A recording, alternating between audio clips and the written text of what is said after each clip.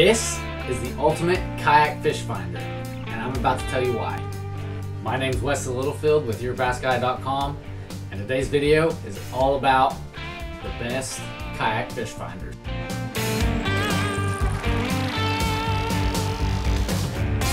I have personally tested out all three of these on my kayak, and I gotta say, I was fairly impressed with all of them, but there was one that stood out the most, and that was the Garmin Echo Map. To tease you, I'm gonna start with the first one that I bought and the beginner model, if you wanna call it that, and that's the Garmin Striker 4. I think this is an excellent model for beginners. Number one, because I bought it as a beginner, but it's got just the basics on there that you need to actually learn how to read sonar, how to set it up, and all that kind of stuff.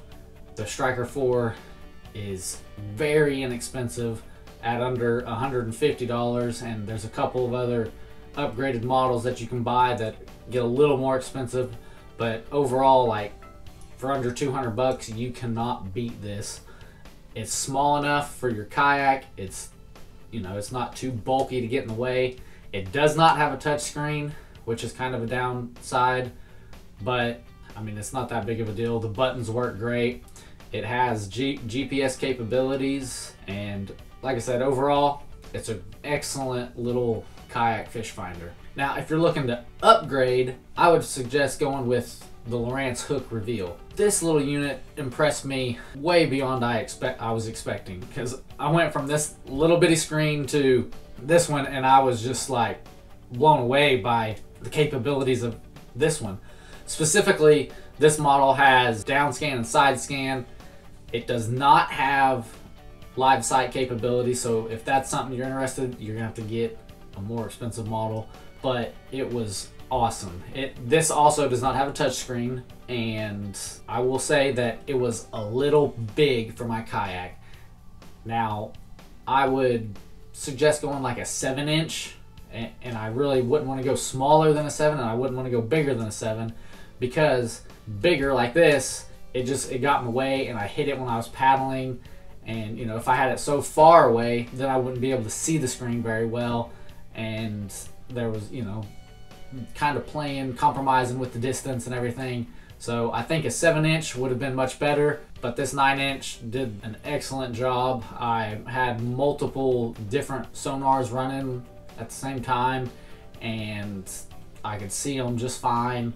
I could pick out fish, I could pick out brush piles, and it was great. Another drawback, you can call it that, is when I was paddling, I would get the screen wet and the water droplets would dry, and they were kind of hard to scrub off. It wasn't that big of a deal. Just get a little Windex and wipe it off and then it came off pretty easy. But when you're out paddling and you know get water on it and don't have anything to dry it off immediately, the water droplets will dry and they bugged me. They might not bug you, but they bugged me.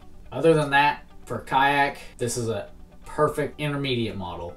You know, like I said, I went from this model to this model and this one blew me away just between the differences and it's not that much more expensive. I'm gonna say you could probably find one from 300 to 800 dollars depending on exactly what model you get, what size screen, and all that stuff.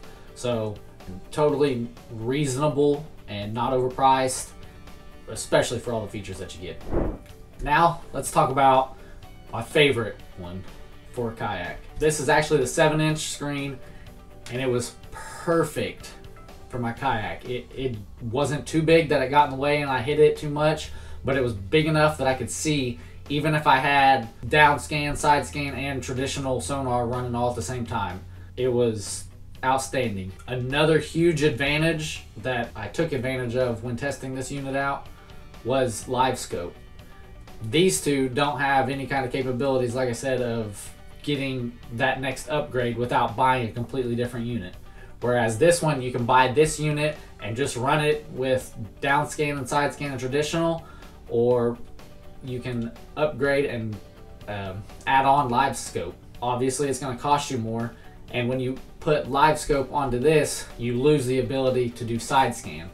Now, it's not that big of a deal, and I've done a couple videos on explaining why it's not that big of a deal, but essentially it's just because LiveScope gives you the ability to see what's actually under the water right then kind of like what side scan does but LiveScope will give you more detail. But if you like running side scan then you will have to buy a separate monitor unit here to plug a transducer into for side scan another downside it's expensive. This model specifically is like uh, $1100 or somewhere around that range. And you know the bigger screen you get the more expensive they are. And i want to say they make a five inch screen. Don't hold me to that. But the five inch screen i wouldn't want to run down scan side scan and sonar on a five inch screen. The seven inch screen was kind of pushing it at that point.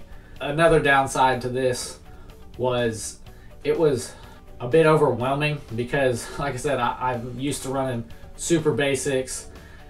Didn't have a lot of details as far as adjustments you could make or all these different add-ons and everything.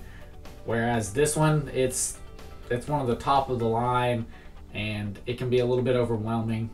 So it is a drawback but I picked it up pretty quick. I mean it, it wasn't like just oh my gosh I'm never gonna figure this out but it was just like hit you like oh wow there's a lot to do here a lot of these features that I have no idea what they are. And then you start playing around with them and you figure them out pretty quickly. Another drawback to this was the lack of a keypad.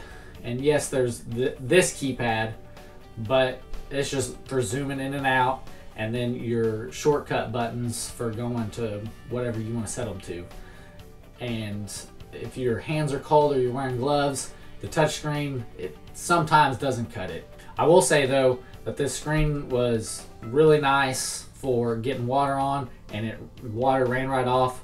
When it the water dried on there, I actually just had to take a cloth and wipe it down and it was perfect. I didn't even have to use Windex. But when I was in the sun and the sun would just hit it just right, it did have a little bit more reflection than even this screen, believe it or not, which kind of surprised me.